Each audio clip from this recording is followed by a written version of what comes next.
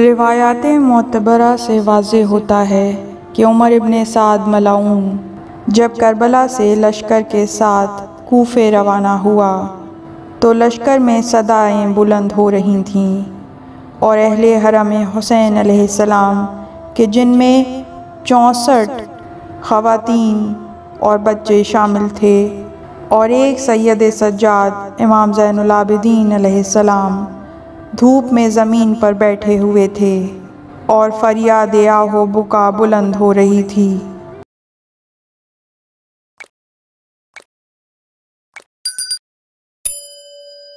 और सैदा ज़ैनब सलाम मक्तल की तरफ़ रुख करके फरमा रही थीं, भैया हुसैन, अब ज़ैनब असीर जुल्म है और तुम मक्तल में सो रहे हो। इसी असना में सारबान, शुतरान बरहना लेकर आए। जनाब फ़ातिमा बिनतुल हुसैन ने जब शुतर बरहना देखे तो फरमाया, ए फूपी अम्मा, ज़रा देखिए तो सही, हमारे वास्ते बेकजावा ऊँट लाए गए हैं। जनाब ज़ैनब सलाम फरमाती हैं कि उस वक्त आबिद बीमार का सर मेरे जानू पर था। इमाम ज़ैनलाबिदीन सलाम ने मुझसे फ़रमाया कि ए फूपी अम्मा, शुतराने बेकजावा देखती हो, इन ऊँटों की आँखों में आँसू भरे हुए हैं और ये दूसरे ऊँटों से कह रहे हैं कि हम आले रसूल और फ़ातिमा की बेटियों को लेकर जाएँगे। आहिस्ता आहिस्ता चलना, ऐसा ना हो कि कोई सवारी ज़मीन पर गिर पड़े। और हमें अली और नबी से शर्मिंदा होना पड़े। जिस वक्त अहले हरम को रसन बस्ता, बेकजावा ऊँटों पर सवार करके ले जाया जाने लगा तो उस वक्त अहले हरम का जब हाल था। खुदा हाफिज़ की सदाएँ बुलंद थीं और लाश हाय शहदा ज़मीन पर पड़े हुए थे। रिवायत है कि जब असीरों का काफ़िला रवा हुआ तो जनाब उम कुलसूम सलाम को ना पाया। अहले हरम में से एक शोर गिरिया बुका बुलंद हुआ और किनारे नहर से रोने की आवाज़ आई। जनाब ज़ैनब सलाम नहर की तरफ़ गईं। देखा कि सैदा उम कुलसूम लाश अब्बास अलमदार पर गिरिया फरमा रही हैं। सैदा ज़ैनब ने उम कुलसूम को लाशे से उठाया और अपने साथ लाईं। आप सवार हुई और काफ़िला रवाना हुआ। अल्लाह अल्लाह, मुश्किल कुशाओ उकदा कुशा की बेटियाँ असीर होकर कूफे जा रही हैं। रिवायत है कि उमर इबन साद मलाउन ने हुक्म दिया कि असीरों को जल्द सवार किया जाए। कौन सवार कराता? ना अब्बास है ना अली अकबर, ना कासिम है ना मोहम्मद। ना महरम उनको सवार नहीं करा सकते। जब ये लोग आगे बढ़े के सवार कराएँ तो सैदा ज़ैनब सलाम ने हालत गज़ब में फ़रमाया कि दूर हो जाओ हमारे रसूल हैं, हमें कोई ना महरम हाथ नहीं लगा सकता। रावी कहता है सैदा ज़ैनब सलाम ने कुछ ऐसे जलाल गज़ब में उनसे कहा कि वो सब के सब दूर चले गए। और जैनबों में कुलसूम ने तमाम अहले हरम को सहारा देकर ऊँटों पर सवार किया। और जब हज़रत ज़ैनब सलाम तन्हा रह गईं तो कोई सवार करने वाला ना था। खुदा ही जानता है कि आप कैसे सवार हुई। अक्सर रावियों ने नकल किया है कि लश्कर उमर इबन साद ने नेज़ा और ताजियाने के साथ सवार किया। यानी ये बदनहाद अजियतें पहुँचाते थे और अहले हरम चारों नाचार सवार होते थे। उस वक्त जनाब सकीना बिनतुल हुसैन की ज़बान गोया पर ये अल्फाज जारी थे। ए बाबा हमारी रोती हुई आँखों और दिल की तड़प देखिए। अब हम आपके कूचे से शाम रवाना हो रहे हैं।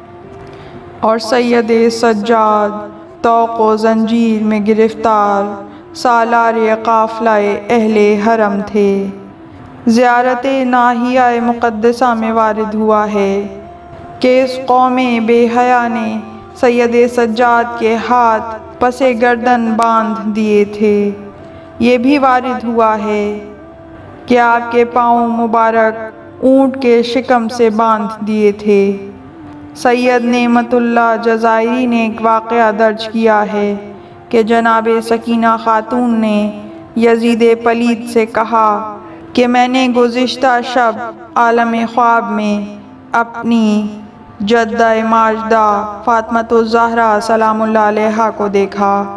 उन्होंने मुझसे वाक़ करबला दरियाफ़्त किया। मैंने बयान किया। फिर आपने मुझसे मेरे बीमार भाई की अलालत का हाल दरियाफ़्त किया। मैंने अर्ज़ किया, ए जद्द माजदा, क्या हाल पूछती हैं? भाई सज्जाद बीमार थे और अक्सर इन मलाउनों ने उनको कत्ल करने का इरादा किया। ए जद्द माजदा सैदतुलनसामीन अगर आप मौजूद होती तो देखती कि बीमार को किस तरह ऊँट पर सवार किया है और किस तरह उनको तोक़ो सलासिल पहनाए हैं। या फातमत फ़ातमतुज़हरा सलाम दो वक्त ऐसे गुज़रे हैं कि भाई सज्जाद पर गिरिया बशिद्दत तारी हुआ। एक उस वक्त कि जब आपने बाबा का सर नेज़े पे देखा। दूसरे उस वक्त कि जब आपने फुपी जैनबो में कुलसूम और मुख्तरात इसमत को बरहना सर देखा। फिर सैदा फ़ातमतुज़हरा सलाम ने आहे सर्द खींची और ज़ारो कतार रोने लगी। और फरमाया, बस ए बेटी सकीना, बस। अब सैदा में ताकत नहीं है कि मसाइब का हाल सुन सके। जब सब अहले हरम सवार हो चुके और जब करबला से यह काफ़िला कैदियों की सूरत में कूफ़े के लिए रवाना हुआ तो काफ़िले के आगे आगे शहीदों के सरहाए मुबारक थे, जो नेज़ों पर बुलंद थे। एक नेज़ तवील पर इमाम हुसैन सलाम का सर बुलंद था और काफ़िले के पीछे लश्कर बेदीन, तबल व नकारा बजा रहे थे। इस तरह यह काफ़िला रवाना हुआ।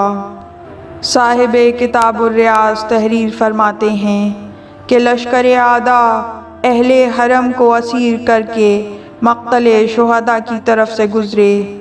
जब मुख्तरात इसमत ने अपने अजीज़ों की लाशें देखीं तो बीबियों ने ख़ुद को लाशों पर गिरा दिया और गिरिया बुका और मातम व शयून की आवाज़ें बुलंद हो रही थीं। जब बीबियों की निगाह जवाना ने राना पर पड़ी, जिगर थाम के बैठ गईं किसी ने अली अकबर की लाश पर नोहा किया, किसी ने अब्बास अलमदार की लाश पर बैन किए और किसी ने कासिम की लाश पर गिरिया जारी की। सैदा ज़ैनब सलाम इमाम हुसैन सलाम की लाश पर रोती रहीं कि लश्कर उमर इबन साद के जफाकारों ने इन बेकस बीबियों को ताज़ियानों के ज़रिए लाशों से जुदा किया। कामिल ज़्यारात में वारद हुआ है।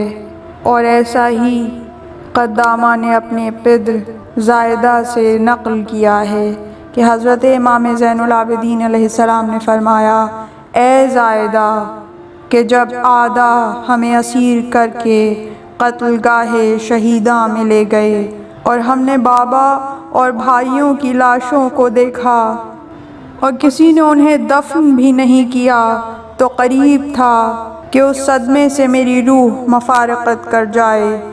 उस वक्त मेरी फूपी जैनब ने जब मेरी यह हालत देखी, मेरी तरफ़ देख कर फरमाया, ए हुसैन की निशानी, ए जदो पिदर की यादगार, ए असीरों के काफ़िला सालार, तुम्हें क्या हो गया है? इस कदर गिरिया बुका? मैंने कहा पुपी अम्मा मैं क्यों कर रोऊं कि मेरे सामने भाइयों और बाबा की लाशें पड़ी हुई हैं, जो खाक खून में गलता हैं, ना किसी को कफन मैसर है और ना कब्र। इस पर सैदा ज़ैनब सलाम ने फरमाया, कि मेरे भाई की निशानी? खुदा की कसम, ऐसा जाद तुम्हारे जद और पिदर और चचा के दरमियान अहद हो चुका है कि हुसैन करबोबला में शहीद होंगे। बेगोरो कफन पड़े होंगे कि परवरदिगार आलम एक गुरोह को दफनो कफन शहदा पर मामूर करेगा। जो इस गुरोह बेदीन से नहीं होंगे, बल्कि वो हमारे महब होंगे।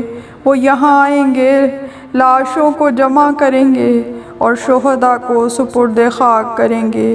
और ए बेटा, ये तुम्हारे बाबा की कब्र की जगह है और यहाँ कब्र पर कुब्बा बनाया जाएगा ताकि शिया और महबान ज़्यारत के लिए आएँ और बारगाह हुसैनी कभी बोसीदा ना होगी। हमा वक्त ज़्यारत करने वालों का हजूम रहेगा, सैयद सज्जाद ने आपसे फरमाया कि फूपी अम्मा, इस खबर का माखज़ बयान कीजिए। तो हज़रत उलिया ज़ैनब सलाम ने फरमाया कि उम ऐमन से यह हदीस मरवी है कि जो मैंने तुमसे बयान की, अगर खुदा न खास्ता, सज्जाद ज़िंदा न रहते तो चूँकि इमाम कुतुब ज़मान होता है, कायनात बाकी न रहती। ज़ैनब ख़ातून ये हदीस बयान कर रही थी और नेज़े पर सर इमाम हुसैन तिलावत कुरान कर रहा था। इन्ना राजऊन रिजन बेक़ाही व तस्लीमन लेमर इस तरह की मज़ीद तहकीकी, इल्मी और तारीख़ी वीडियोज़ देखने के लिए चैनल को सब्सक्राइब कीजिए और बेल आइकॉन पर क्लिक कीजिए। वीडियो को लाइक करें और कमेंट्स के ज़रिए बताइए कि आपको वीडियो कैसी लगी। अगली वीडियो तक के लिए खुदा निगहदार